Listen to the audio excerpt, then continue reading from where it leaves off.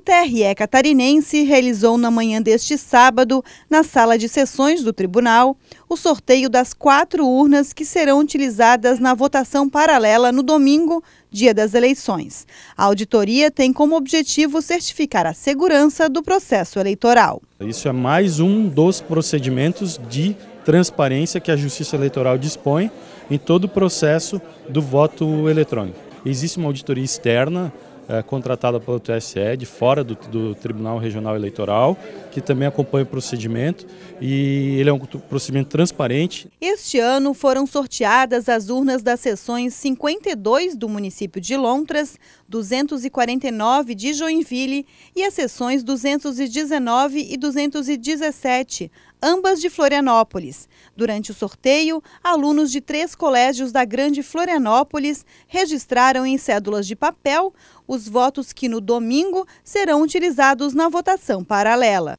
Os votos que estes alunos anotaram nas cédulas de papel são destinados aos candidatos reais dos municípios envolvidos. Isso porque as urnas sorteadas já estão configuradas com os dados dos candidatos, lacradas e prontas para as eleições. Realizamos um procedimento aqui uh, utilizando um sistema de votação por voto impresso, por voto de papel, depositado numa urna de lona, que depois será inserido esse voto na, na urna eletrônica. Ao final, quando realizarmos a apuração do voto impresso e a apuração do voto da urna eletrônica, tem que ter um batimento, não pode ter diferença na votação. Isso comprovará que não há nenhum, nenhuma fraude no dispositivo eletrônico da, da urna. Imediatamente após o sorteio, as quatro urnas eletrônicas são substituídas por urnas de contingência. Servidores da Justiça Eleitoral, com o apoio das polícias militar e federal, ficam encarregados de buscar essas urnas e trazê-las até a sede do tribunal.